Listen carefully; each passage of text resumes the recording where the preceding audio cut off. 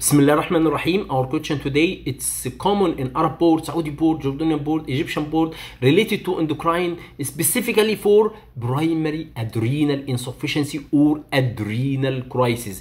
And more specifically related to laboratory finding suggestive primary adrenal insufficiency. We'll see all of the following laboratory finding are suggestive of primary adrenal insufficiency except we'll see A hyponatremia, B hyperkalemia, C ketosis, D hyperglycemia, E elevated serum adrenocorticotropic hormone level. As we know, the adrenal gland there is three zones. Each zone it will secrete hormone. Zona glomerulosa and fascicularis and reticularis. And aldosterone, cortisone and uh, and uh, androgen. So in adrenal insufficiency or primary adrenal insufficiency, uh, aldosterone it will be insufficiency. Cortisone it will be insufficiency. Cortisone it will be insufficiency. Aldosterone what is the mechanism of aldosterone? Salt and water retention and hydrogen and uh, potassium excretion aldosterone is insufficiency. This hydrogen excretion and uh, uh, and potassium excretion it will be retained leading to hyperkalemia and acidosis. And salt and water retention so the salt is the uh, sodium. The retention it will excrete it so leading to hyponatremia leading to hyponatremia. So adrenal insufficiency leading to hyponatremia hyperkalemia and acidosis. This is aldosterone insufficiency. Cortisone cortisone insufficiency is leading to hypoglycemia. Hypoglycemia. And there is opposite relation between the cortisone and adrenocorticotropic hormone or ACTH. If the cortisone is decreased, ACTH it will be elevated. There is actually there is opposite relations between the cortisone and adrenocorticotropic hormone. Aldosterone uh, cortisone is low, so the adrenocorticotropic hormone it will be higher.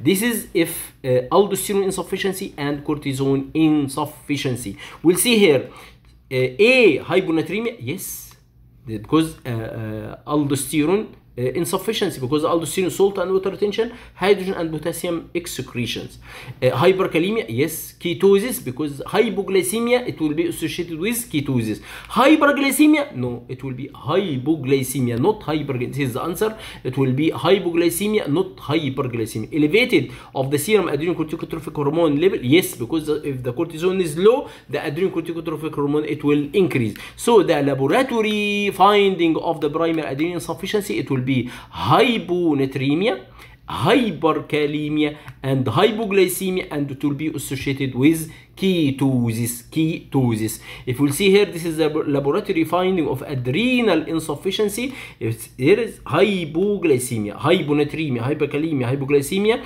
narrow cardiac shadow or low voltage ECG but here hypoglycemia not hyperglycemia.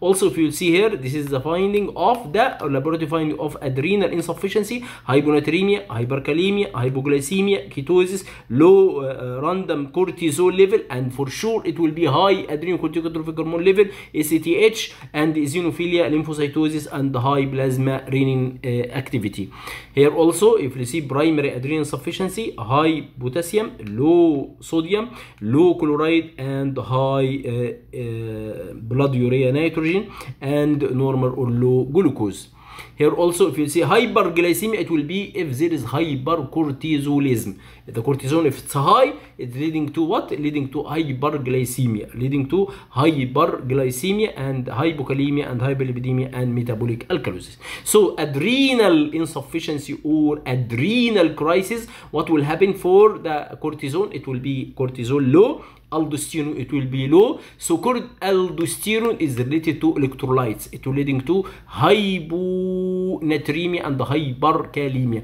And cortisone glucose glucose it will be low and leading to ketosis leading to ketosis what is the clinical this is the laboratory manifestations or laboratory finding suggestive of primary adrenal insufficiency. What is the clinical manifestation? Patient will be with shock salt losing it will be shock. Patient shock hypotensive hypoperfusion maybe dehydration due to vomiting and, and uh, diarrhea maybe febrile abdominal or hyponatremia hypoglycemia and hyperkalemia hypoglycemia and ketosis if you do the hormonal study cortisone is low and renin cortisol is low and adrenocorticotropic hormone it will be high adrenocorticotropic hormone it will be high what is the management hydrocortisone and supportive treatment. Hydrocortisone and supportive treatment. So the key points or the summary of the case what is the laboratory finding suggestive primary adrenal insufficiency it will be hyponatremia hyperkalemia hypoglycemia hypoglycemia associated with ketosis